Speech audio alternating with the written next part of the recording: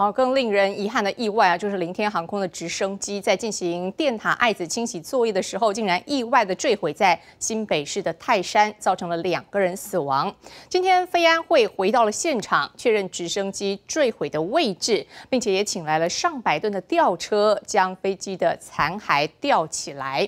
交通部长表示呢，同机型的三架直升机现在都要先停飞进行调查。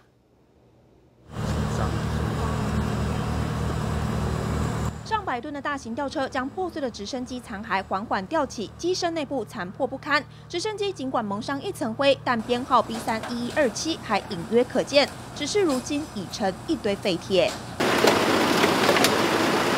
巨大的撞击力道让机体四分五裂，再次被吊起的是直升机的门和后尾，上头还可以看到“凌天”两个大字，还有这个红白相间的直升机螺旋桨卡在树丛间。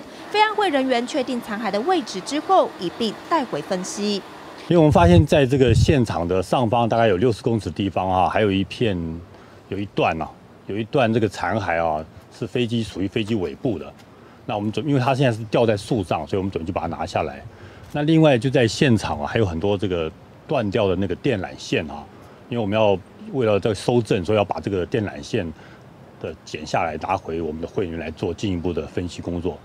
目前初步研判，残骸散布的范围大约五十公尺，当时是从七十公尺高的地方坠落。虽然飞安会完成了第一步的残骸定位，也找到飞行记录器，但由于直升机没有黑盒子，只能从操作手册、飞行记录、目击证人和民众提供的画面来分析，最快也要一个月鉴定报告才能出炉。凌天航空公司虽有派人到场关心，但对于意外原因很低调。关于飞安调查事件，我们都不可以对外发表任何意见。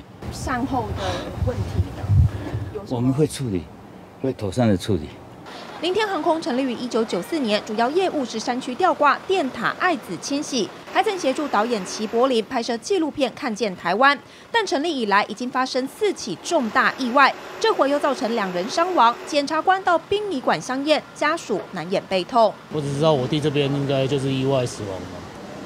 对，就因为坠机而造成的意外死亡，没有什么意义。有有有要解剖，哎，总有指示有疑问就对了。哎，没有疑问，他只是说还是，呃，会安会安会有有规定要要要要进行解剖。对亲人的健康状况有信心，但依照非安会的程序需求，必须对驾驶陈秀明的遗体解剖，确认有没有药物或其他生理因素造成。在意外原因没有厘清之前，凌天同机型的三架贝尔二零六 B 型直升机必须停飞，杜绝意外重演。民事新闻综合报道。